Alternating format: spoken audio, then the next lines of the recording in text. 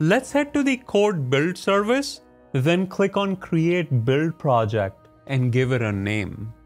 Under the source section, select the repository that we just created. Consider this. You have your code saved in your AWS CodeCommit repository, and now you want to create a build project using AWS CodeBuild. Can you do this in a few steps using the AWS console? Let's find out.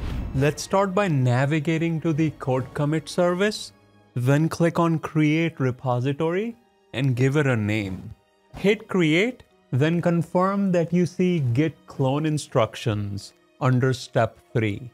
Next, let's head to the Cloud9 service, click on create environment and give it a name. I'm going to leave all the other settings to their default values, hit create then click on Open Cloud9 IDE. Navigate to the bash terminal, then copy paste the git clone command. Use the cd or the change directory command to go inside your repo. Then let's bring the lambda underscore function.py file in our workspace.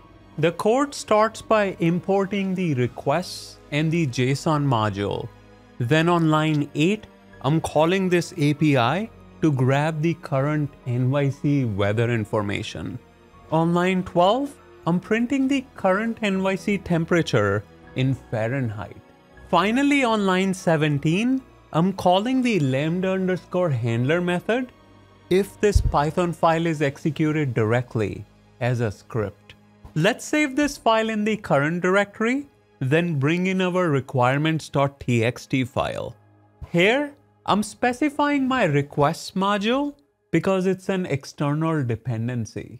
Let's save this file in the current directory as well, then bring in our buildspec.yaml file. In this file, I'm specifying two phases, build and post build.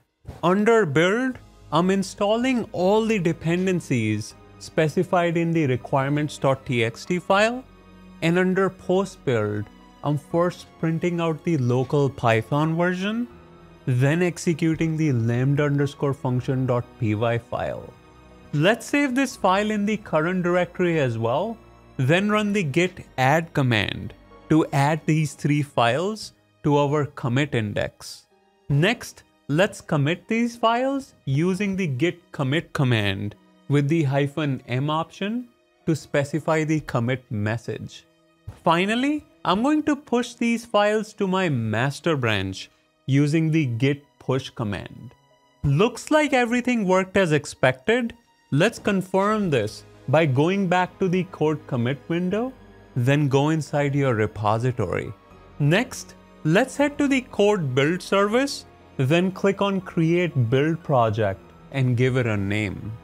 Under the source section, select the repository that we just created then choose the master branch. Under environment, I'm going to select managed image with an operating system of Amazon Linux. Let's choose standard for runtime with the 5.0 image. Since my build spec file is already using the default name, we don't have to specify it in the build spec section.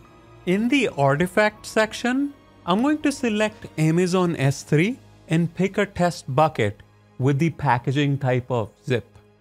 Let's leave all the other settings to their default values, then hit create build project.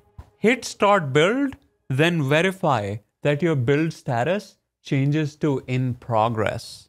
Give it a few minutes for the build to complete until the status changes to succeeded.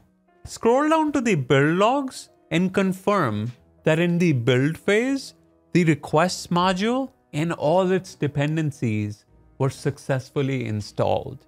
In the post-build phase, you can see the local Python version and the output of the lambda underscore function dot .py file. On line 58, you can confirm that the current temperature of NYC was successfully printed. On line 69, looks like our build artifacts were also successfully uploaded to the S3 bucket. Let's confirm this by going to the S3 service. There you have it. But before you go, here's a question for you. Why was the AWS CodeBuild project always in great shape?